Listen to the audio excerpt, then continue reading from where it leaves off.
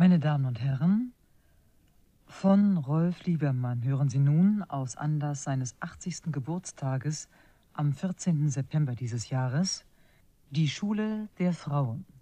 Opera Buffa in drei Akten in einer technisch verbesserten Aufnahme des Norddeutschen Rundfunks vom Dezember 1958. Libretto nach Molières Komödie L'École des Femmes von Heinrich Strobel in der erweiterten Neufassung. Deutsche Übersetzung Hans Weigel. Die Uraufführung fand in englischer Sprache am 3. Dezember 1955 in Louisville in den USA statt. Die deutsche Erstaufführung fand am 17. August 1957 statt, während der Salzburger Festspiele unter der Leitung von George Zell in weitgehend gleicher solistischer Besetzung wie die vorliegende Aufnahme. Ich nenne Ihnen die Personen und ihre Sänger. Coquelin unter dem Namen Molière, auch Alain, Diener bei Monsieur Arnolf, ein altes Weib und Monsieur Henri, Walter Barré, Bariton. Monsieur Arnolf, ein alter, eitler Junggeselle, Arnold van Mill, Bassbariton. Agnes, eine junge Weise im Hause des Monsieur, des Monsieur Arnulf, Anneliese Rothenberger, Sopran.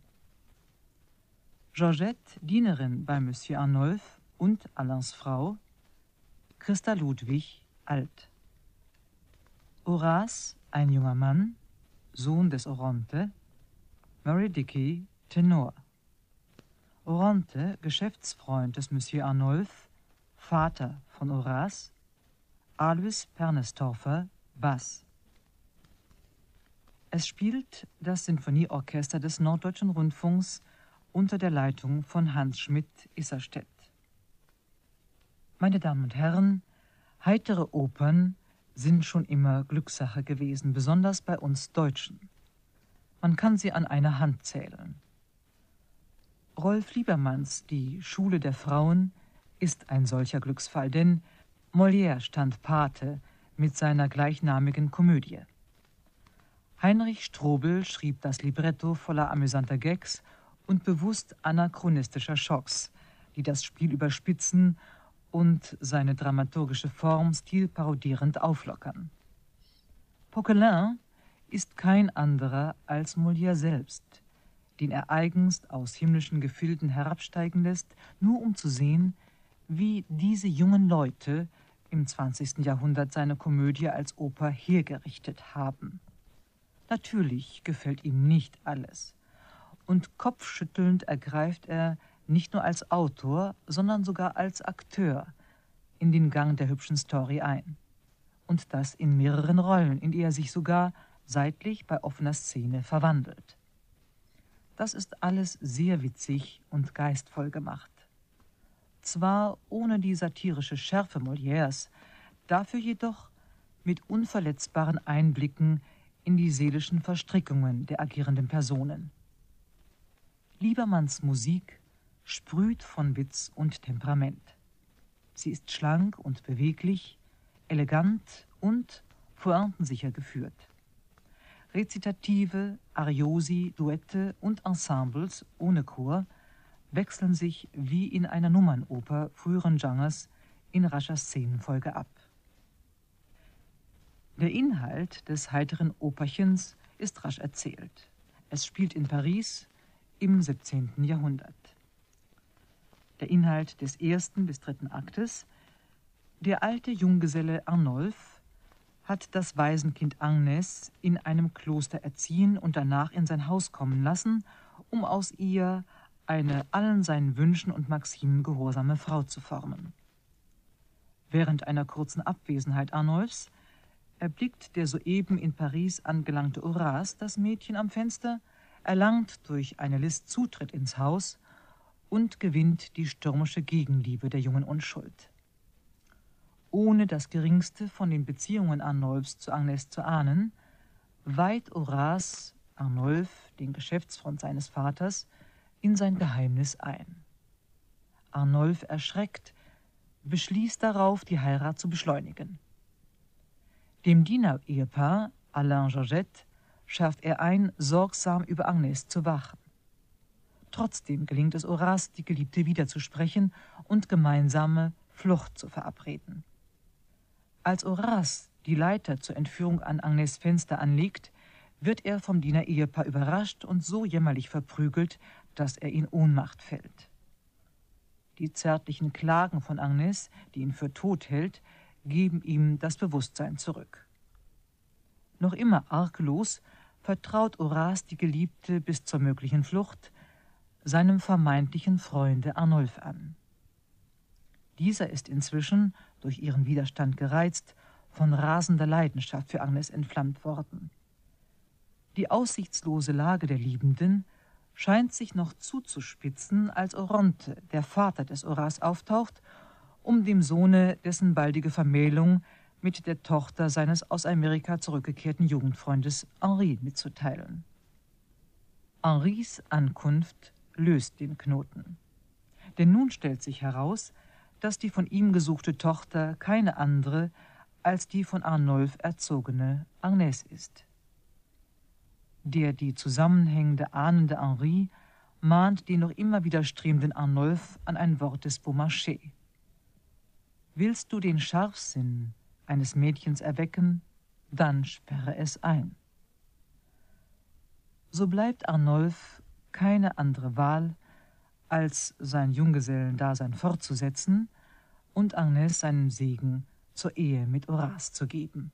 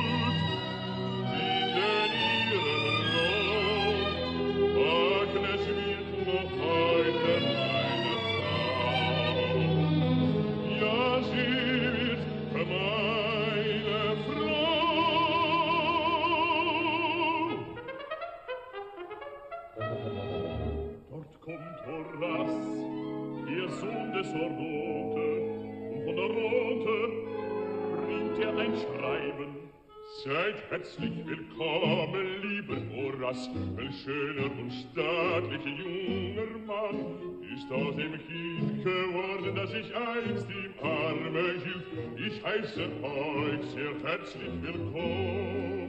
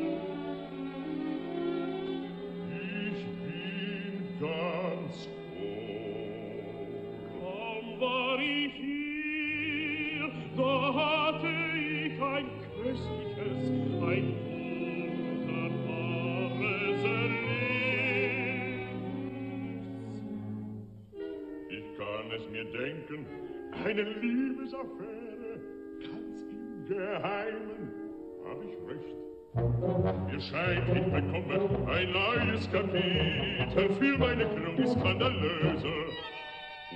Und wer ist das Opfer, das die Hörner trägt?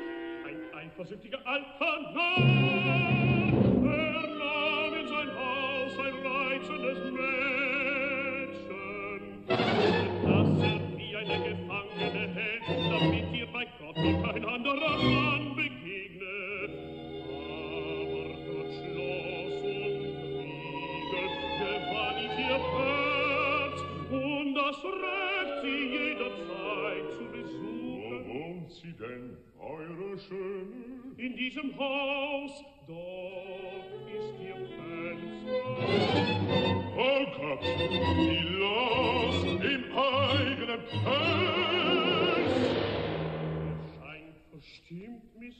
Arnolfo! Versteht, nun ja.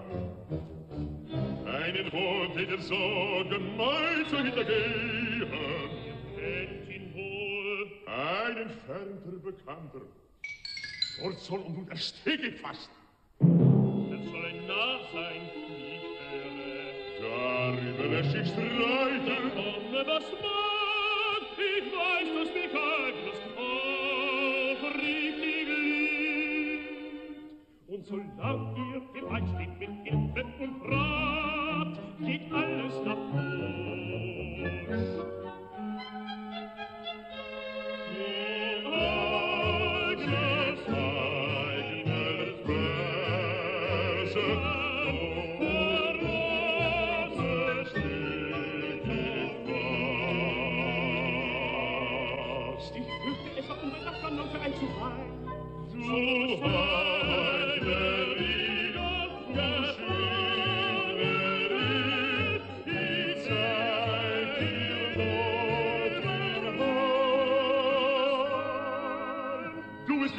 Sie should have dabei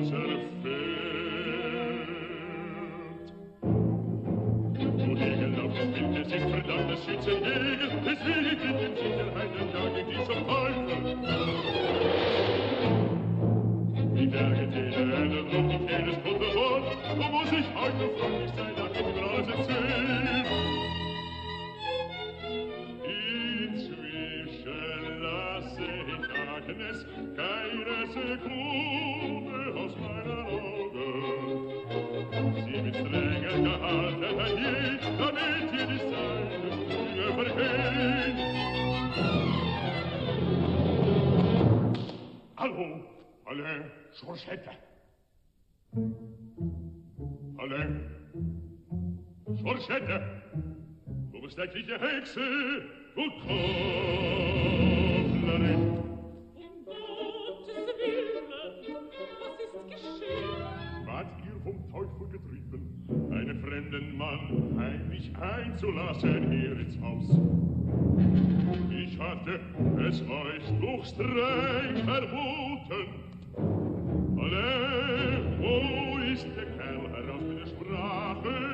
Wo ist denn der sich geschwunden? Alle, alle, alle.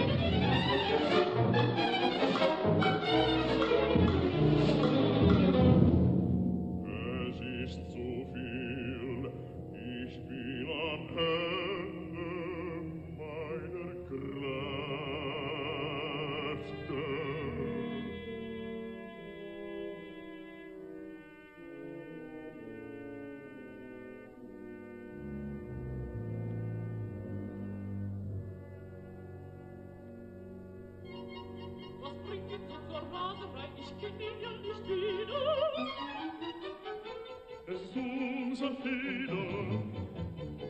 das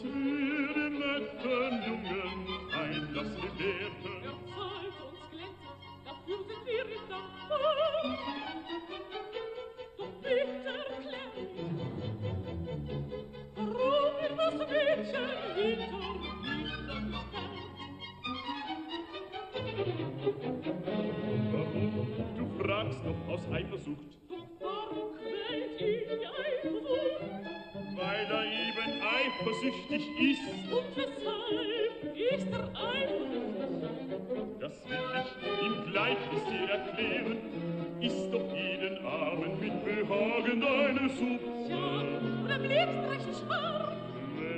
Wenn seinen in eine was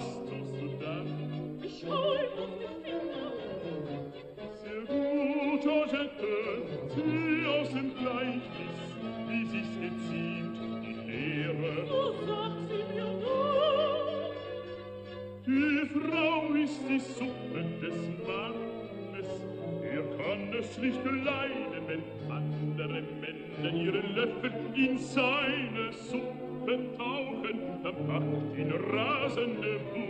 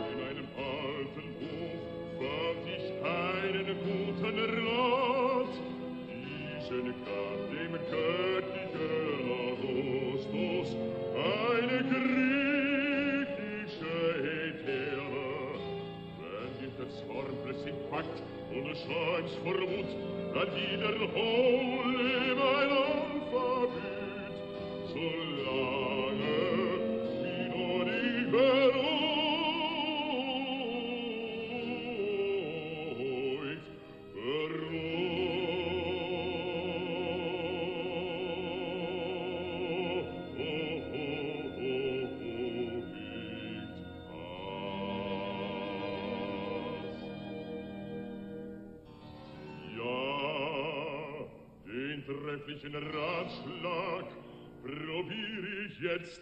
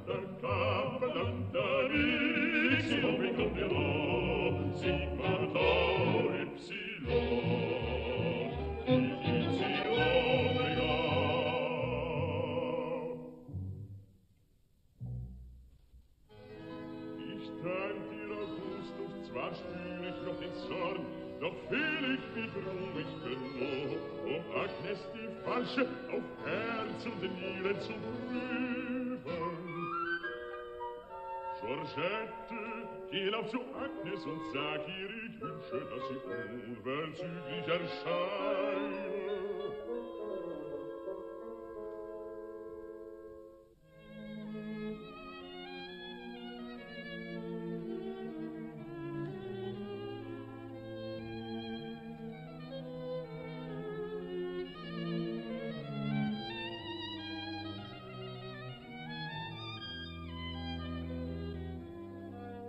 es nicht angenehm so zu spazieren am Abend in der erfrischenden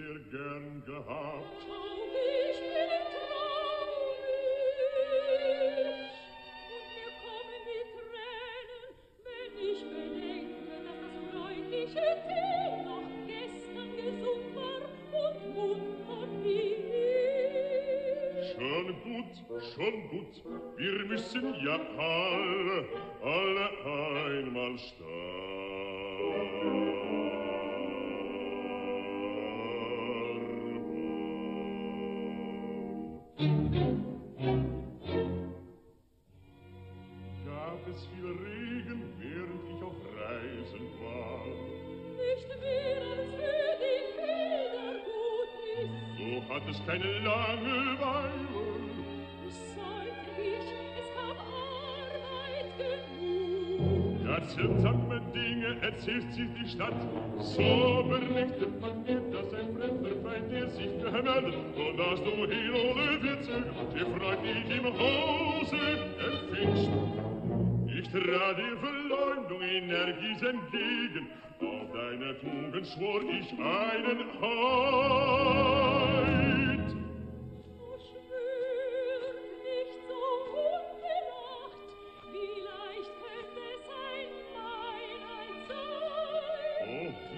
lange, was meint sie damit? So oh, weiter erzähle, die Wahrheit will ich hören.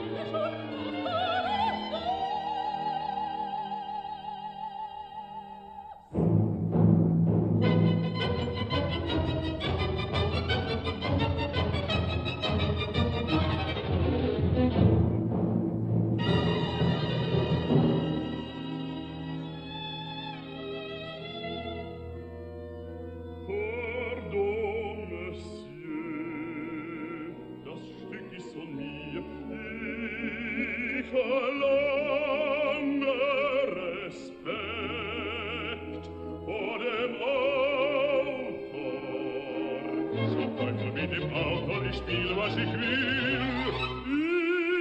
Ich allein habe hier zu bestimmen. Ich bin wohl jung, berühmt in der ganzen Welt. Durch meine dramatischen Werke, eh bien, monsieur,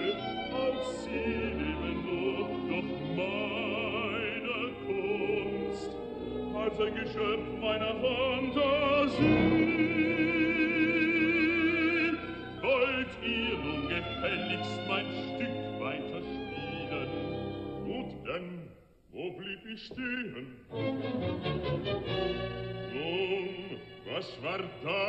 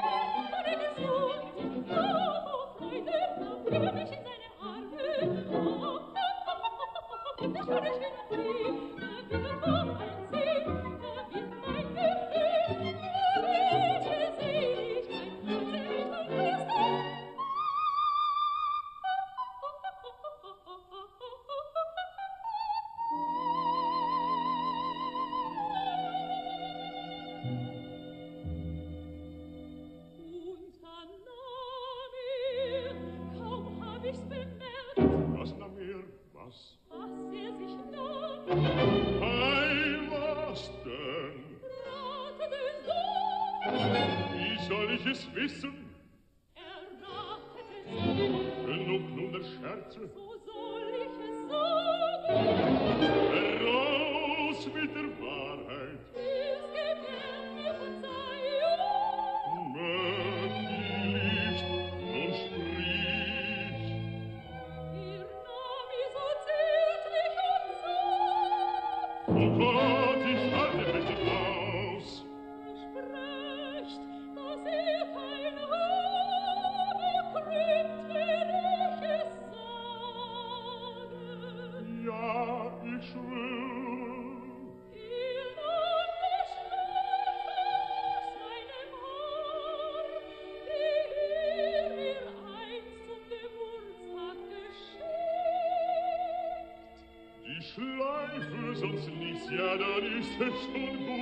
Er glühter sich damit, seit ich ihm geschenkt, doch wie oft hat er dich gegrüßt.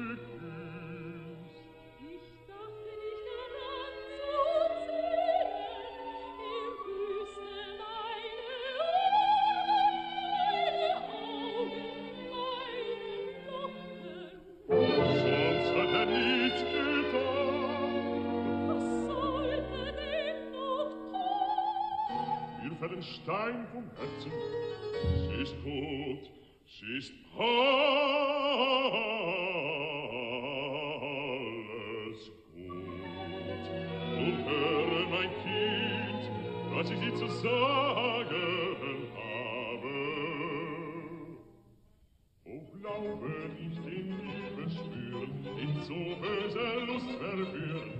nur schwärmerisches die Nietes und Silber wird, wisse, dass man jeden Kuss in der Hölle wissen muss. Doch macht es selbst dem Himmel Freud, wenn es geschieht in Ehrbarkeit. Musik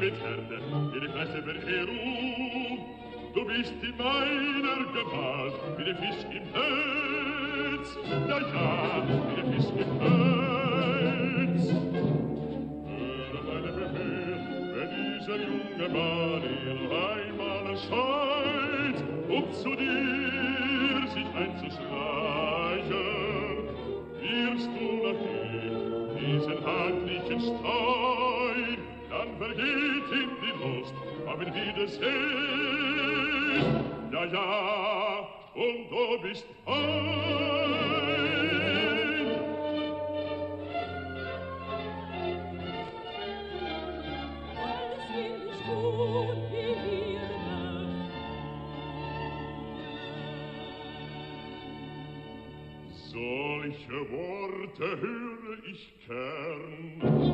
Geh nun ins Haus, komm.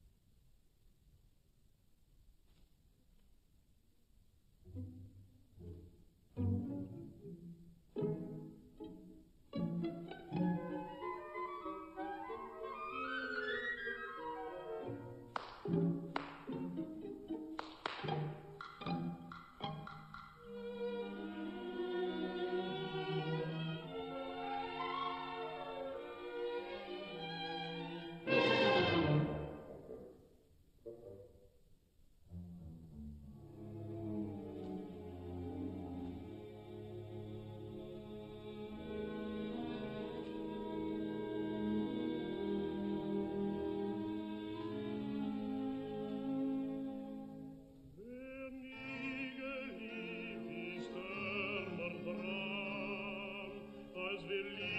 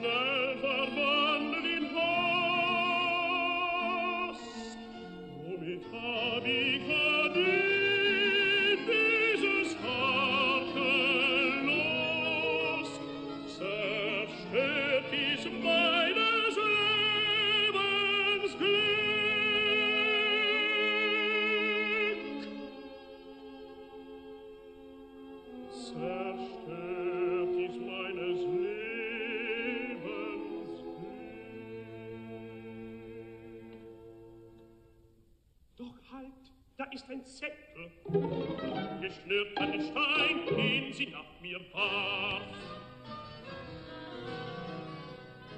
Zum Teufel, da schleicht der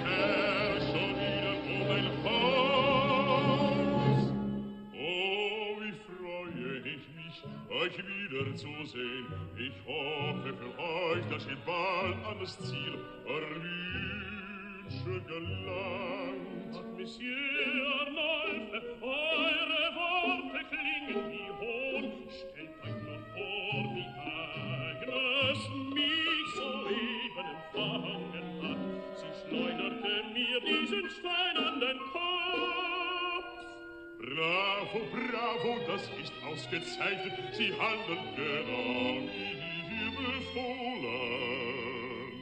Das grausame Missgeschick, das euch traf, bedauere ich von Herzen. Mein einziger Trost ist diese Zettel, die fallen befestigt und fallen. Zum Henker!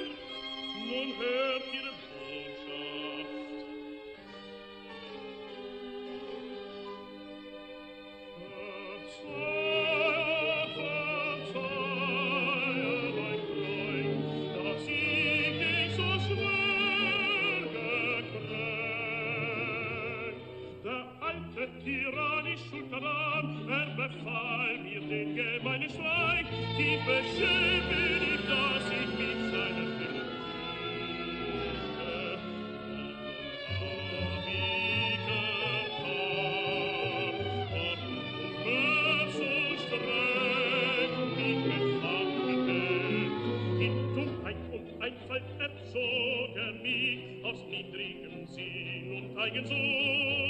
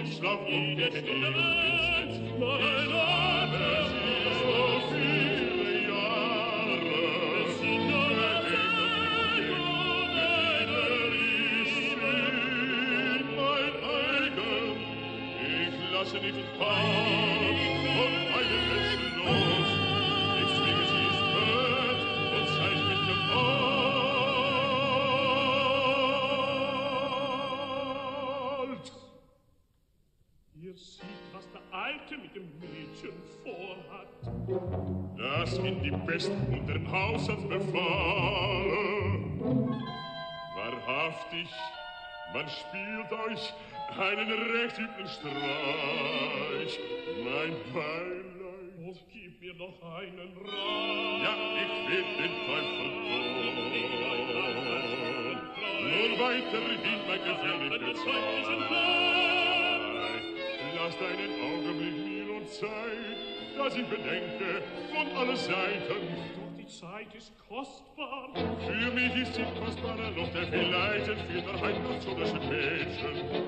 Geh jetzt nach Haus, bis ich alles bedarf. Statt mir zu raten, schickt er mich fort. Auf ihn ist kein Verlass, aus eigener Kraft.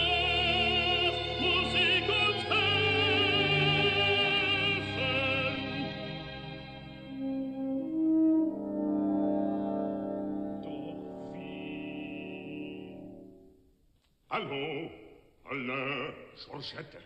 Komm schnell heraus, ihr Lieben, ihr Guten, ich brauche euch dringend.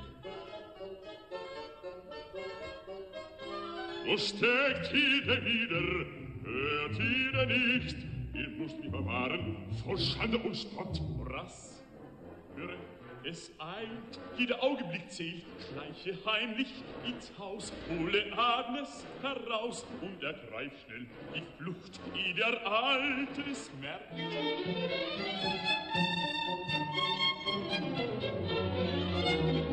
Wie schon da, ihr Knaben! Was steht zu diensten? ein Herr und Gebieter. Ein Herr und Gebieter. Bis in der Stiefel gießen.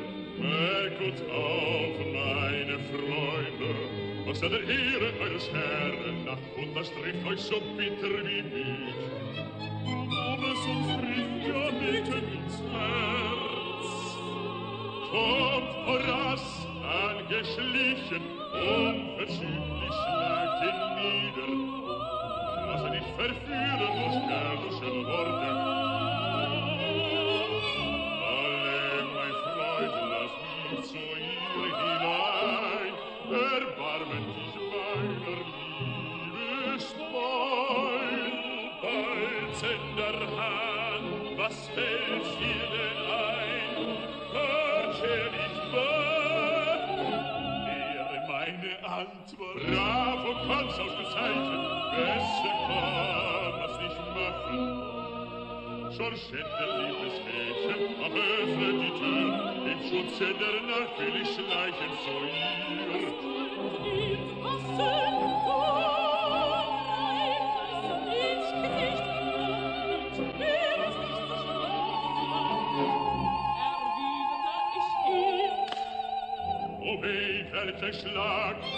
und schon sattel hat und ducht aber wohl der Gazia Horas. Allein im Reitare für einen Trug Wein und diesmal so schätzen für ein Lieder. Nun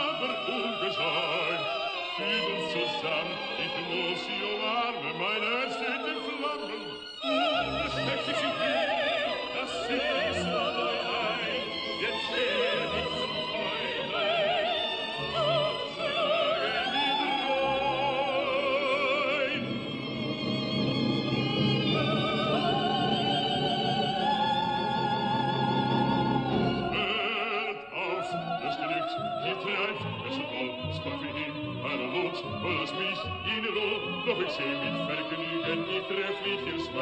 Ich bin ein Falscher, ich bin mein Falscher, ich dein ein Falscher, ich bin ein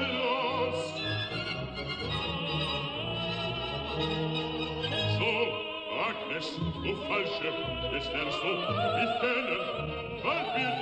bin das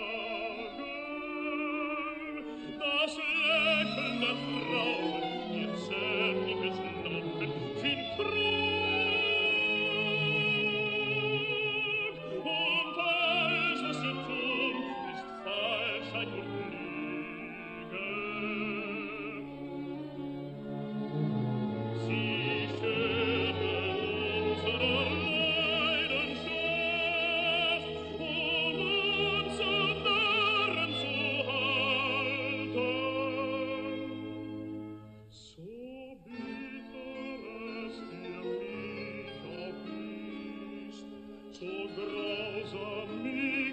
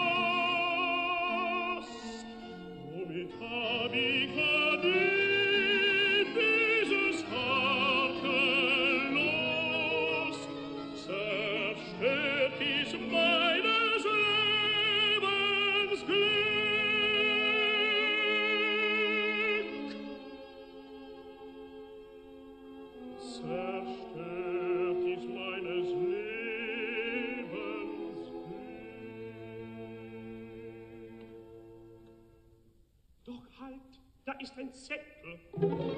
Geschnürt an den Stein, den sie nach mir warf. Zum Teufel, da schleicht der Kerl schon wieder um ein Haus. Oh, wie freue ich mich, euch wiederzusehen. Ich hoffe für euch, dass ihr bald alles Ziel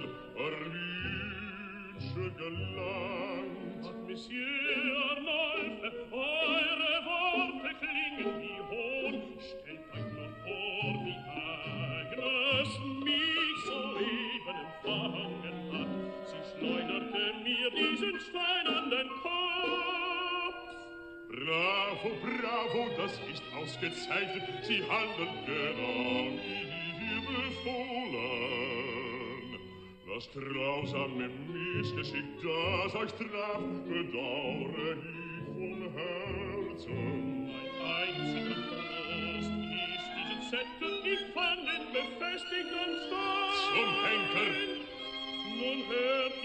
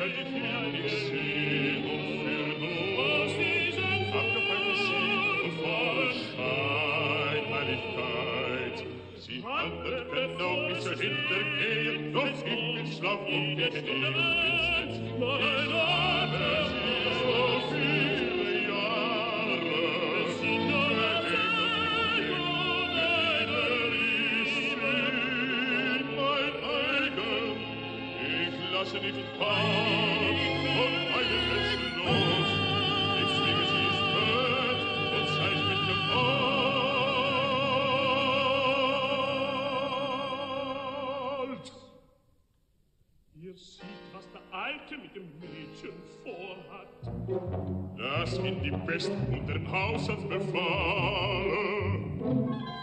Wahrhaftig, man spielt euch einen recht üblen Streich. Mein Beileid. Oh, gib mir noch einen Rat. Ja, ich will den Teufel tun. Nur weiterhin mein gefährlicher Zeug. Lass deinen Augenblick mir und Zeit was ich bedenke, von alle Seiten. Doch die Zeit ist kostbar. Für mich ist sie kostbarer noch der vielleicht für der Heimat zu das Mädchen. Geh jetzt nach Haus, bis ich alles bedarf. Statt mir zu raten, schickt er mich fort. Auf ihn ist kein Verlass, aus eigener Kraft.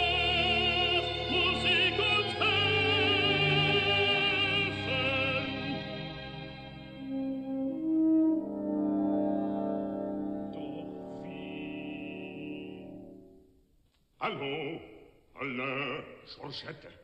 Komm schnell heraus, ihr Lieben, ihr Guten, ich brauche euch dringend.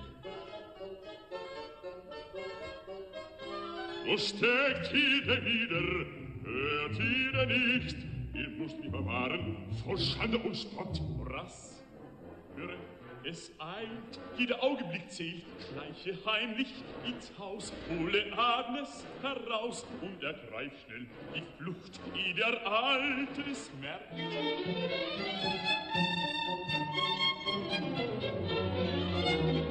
Wie schon da, ihr Knaben, Was steht zu Diensten? Was steht zu Diensten? Ein Herr und Gebieter! Ein Herr und Gebieter! der Schicht zu dienst! Merk und auf, meine Freunde, was an der Ehre eures Herren und das trifft euch so bitter wie mit. Unum es uns trifft, ja, mitten ins Herz! Kommt, Horas, angeschlichen, unverzüglich schlägt ihn nieder!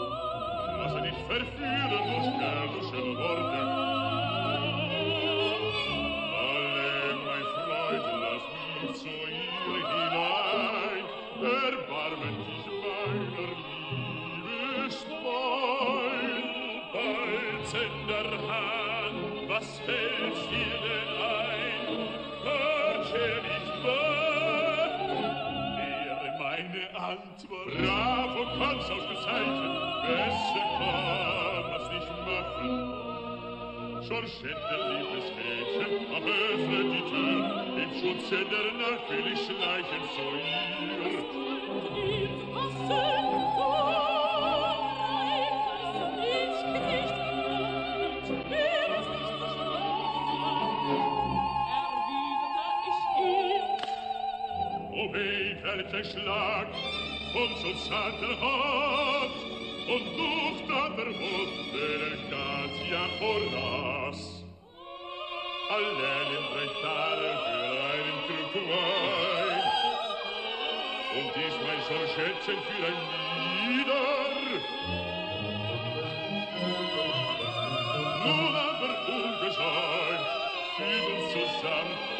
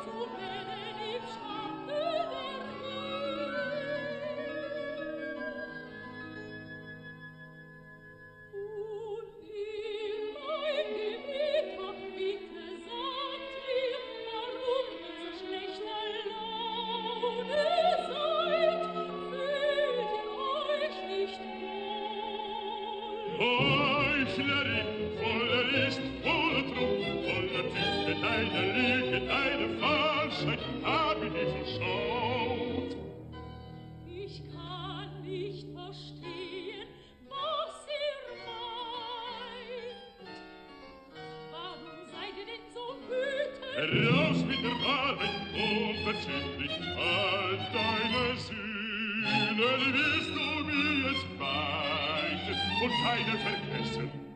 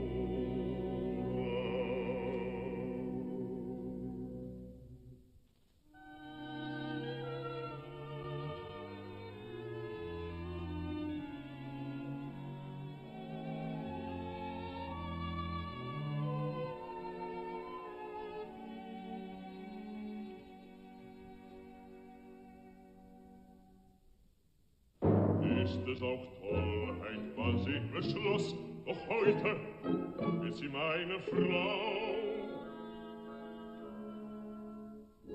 Begreifen Sie doch immer nicht, wie lächerlich sie sich macht. Sie ist mein und sie bleibt es. Ich brenne voll Lust und Begierde, ich muss Agnes besitzen.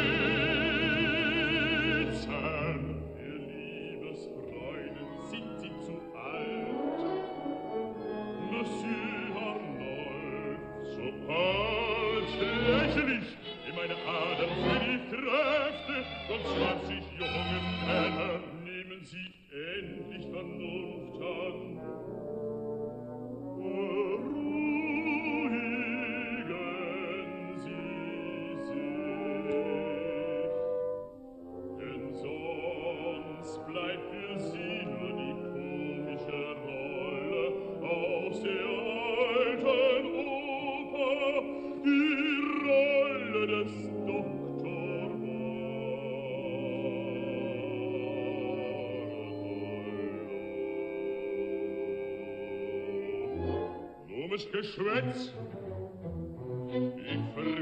mir solche Vergleiche, in dem sicherlich die verletzende Absicht erwähne, Dr. Pallardo, wenn es los ist unabänderlich, doch es ist mein.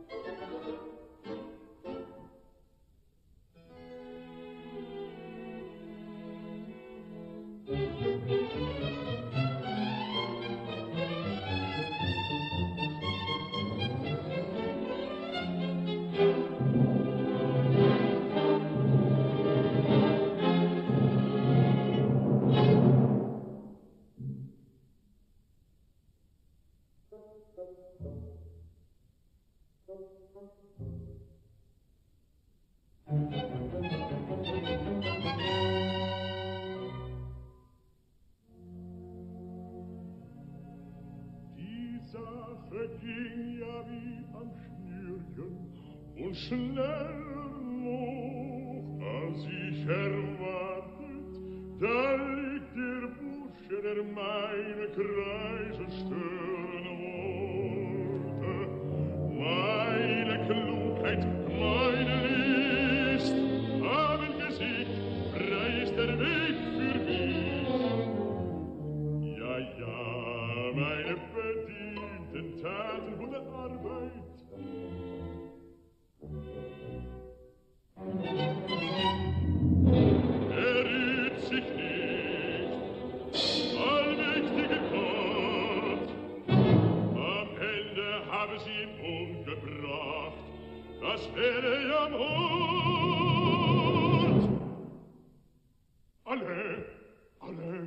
Giorgette. Sei ti verrückte Worte, die lautet ein Auftrag, ihr solltet ihn prügeln, aber doch nicht töten. Wer ihr wahres Kuhn hält, was soll ich tun? Vor Ort, denn mein Freund kommt noch heute auf Besuch. Wie bring ich ihn weit, dass ein er Zorn hat es lagen vor meinem Haus? Wo hilf mir mein Trotz? das kann ich tun, dass er mich nicht verdächtigt. Er wird mir nicht glauben und dann bin ich verloren.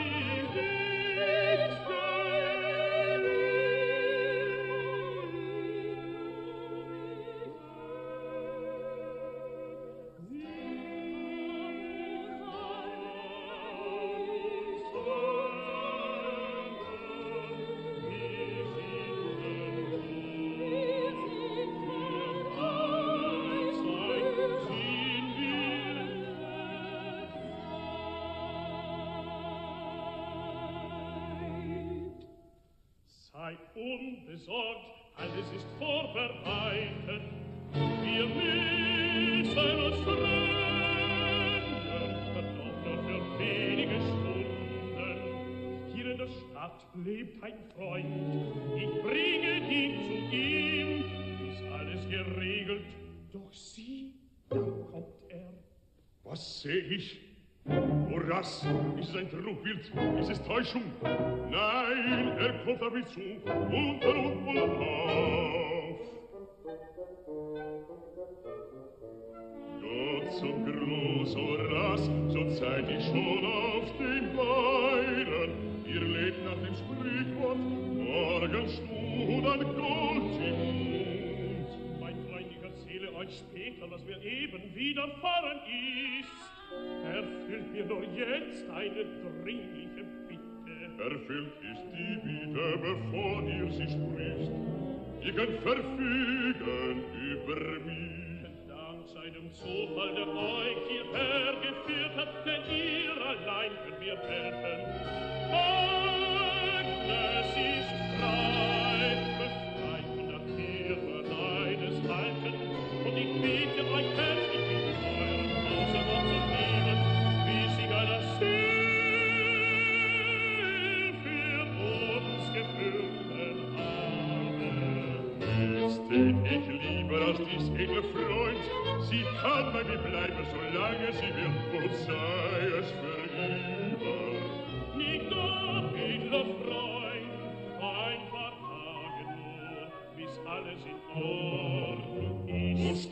Schöne bringt sie her, ich werde sie dringlich verlaufen.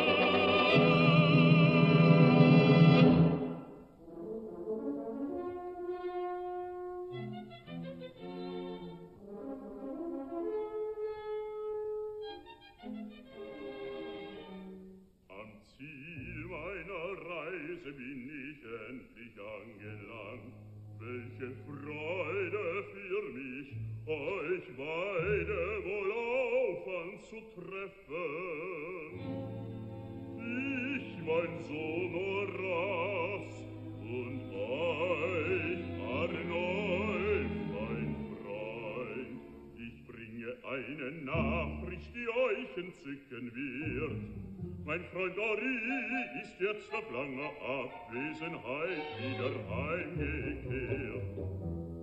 Schon ist er in der Stadt und wird mal bei euch sein.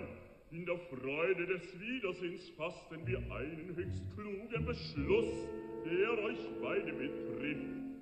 Ja, Horaz, mein Sohn, Eine Braut haben wir dir zugedacht, nach reitlicher Überlegung. Gleich sollst du sie sehen, sie ist in unserer Nähe, doch heute kann die Hochzeit gefeiert werden. Das Schicksal hat mich von dem Burschen befreit, die Stunde der Rache.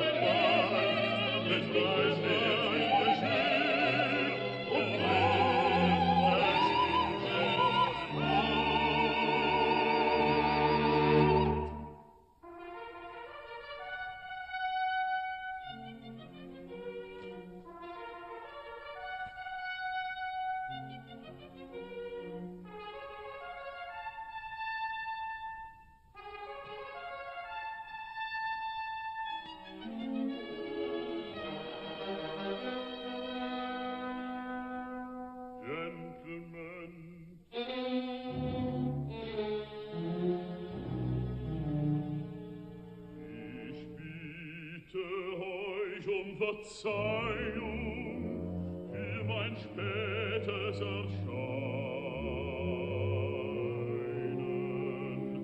Wichtige Geschäfte hielten mich zurück in einer Stadt, in der mein Schiff verhangen ließ. Aber es ist nicht so spät,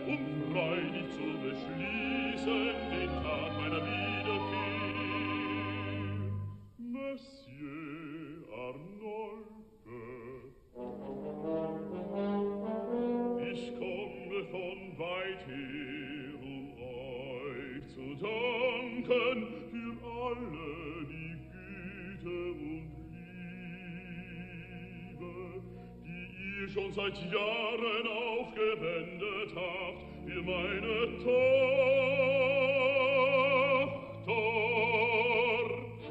Sie ist seine Tochter, gleich trifft mich der Schlag, sie ist seine Tochter, er sagt es ja selbst, sie ist seine Tochter, er sagt es ja selbst, sie ist seine Tochter, und verzehn vor Woh,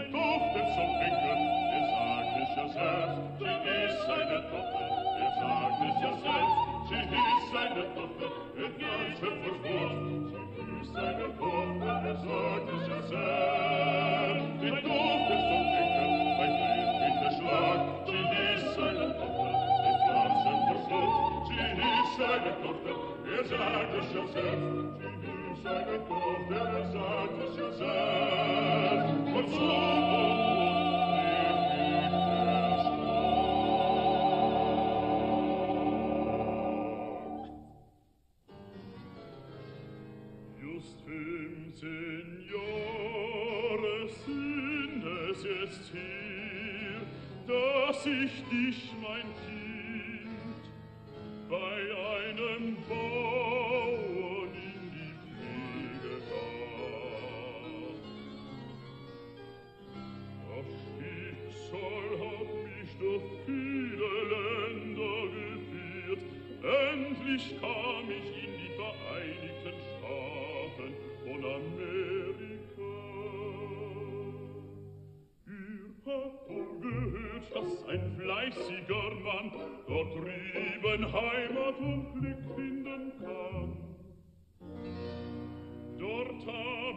erfahren, dass ihr, mein Freund Arnulf, Agnes am Kindestadt in euer Haus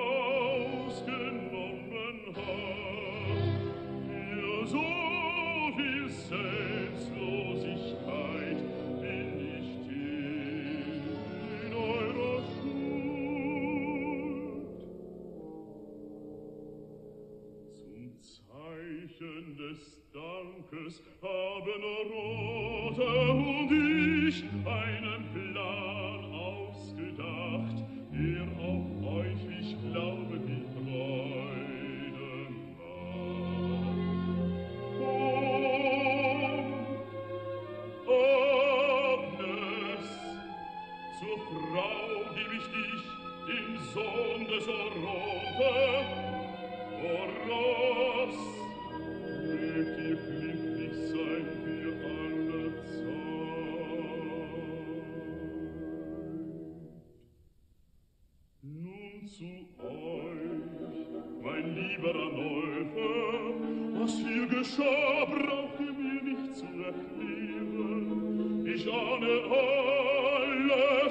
am besten macht ihr gute Miene zu dem bösen Spiel, das ihr selber verschuldet habt.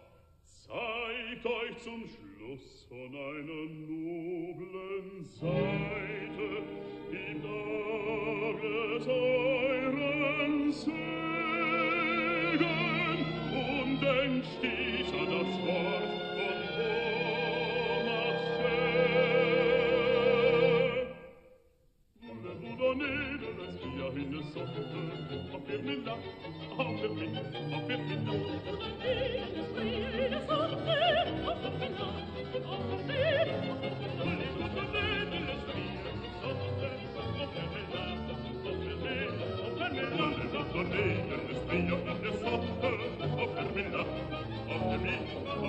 Oh, oh, oh,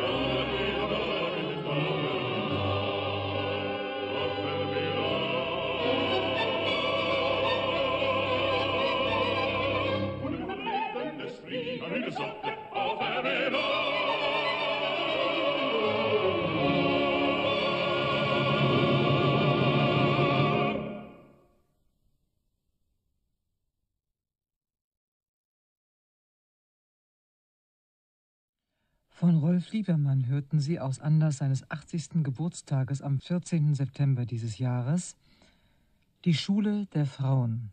Opera Buffer in drei Akten in einer technisch verbesserten Aufnahme des Norddeutschen Rundfunks vom Dezember 1958. Libretto nach Molières Komödie L'École des Femmes von Heinrich Strobel in der erweiterten Neufassung. Deutsche Übersetzung Hans Weigel. Ich nenne Ihnen noch einmal die Personen und ihre Sänger. Poquelin unter dem Namen Molière, auch Alain, Diener bei Monsieur Arnolf, ein altes Weib, und Monsieur Henri, Walter Berry, Bariton. Monsieur Arnolf, ein alter eitler Junggeselle, Arnold van Mill, Bassbariton.